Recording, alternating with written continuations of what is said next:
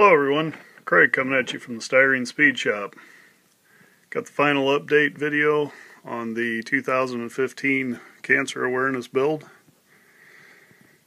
And it's finally done. I did the 70 uh, Ford Torino GT. This was in uh, memory of my co-worker's dad who passed away in August from uh, stomach cancer and, and liver cancer. It um, started off, he went into the doctor, wasn't feeling well, was feeling bloated.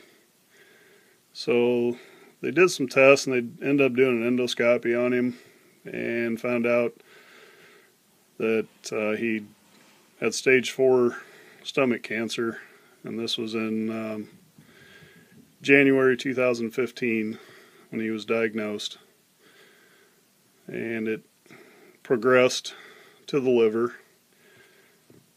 And unfortunately, in August of 2015, he succumbed to the cancer.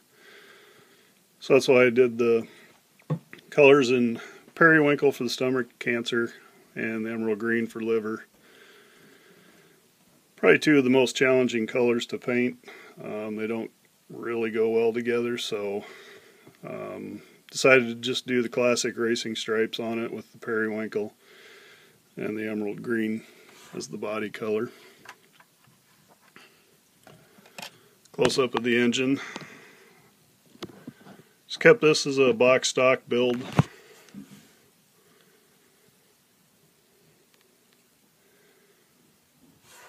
Um, nothing real, nothing real fancy. Just, just an ordinary box stock build, but it's a pretty fun kit to put together overall.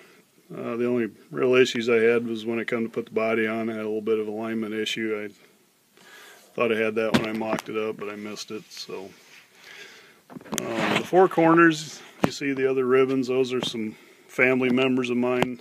Uh, the first one here is for head and neck cancer. I had an aunt that passed away from throat cancer, my mom's sister.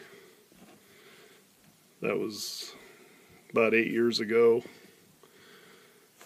And then this one here is for thyroid cancer. Uh, it's my uncle, which was a husband to my mom's sister here. Uh, he passed away from thyroid cancer in the early 90s. The one back there for melanonin, uh, my wife's sister survived that. And of course, the pink one's breast cancer. Uh, dear close family friend, she uh, she's a breast cancer survivor. So the gold thread around the around this that's uh, childhood cancer.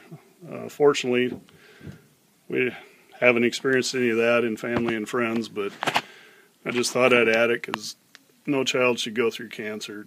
It's just it's just a sucky deal. But so there it is.